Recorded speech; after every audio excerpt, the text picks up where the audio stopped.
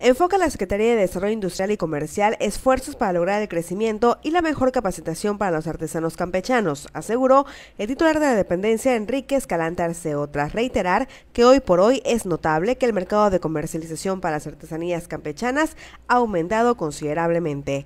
Escalante Arceo informó que fueron alrededor de 8.000 los artesanos que junto con el inicio de la administración también arrancaron con un fuerte trabajo de capacitación.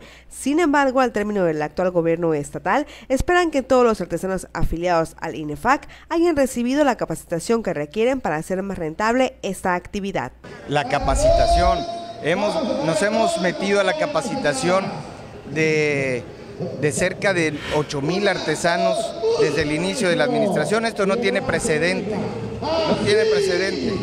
Y entonces, eh, al, al final de esta administración, en 2015, ya habremos llegado a los 10.000 artesanos que están incluidos en nuestro censo artesanal. El funcionario destacó que es el municipio de Calquiní donde se ubica el mayor número de artesanos del estado. Sin embargo, reiteró que esto no es motivo para que no se tenga una adecuada y equitativa distribución de recursos para apoyar a quienes requieran de las herramientas necesarias para hacer de la actividad artesanal una de las más competitivas del estado. Para tiemposnoticias.com informó Karen Tus.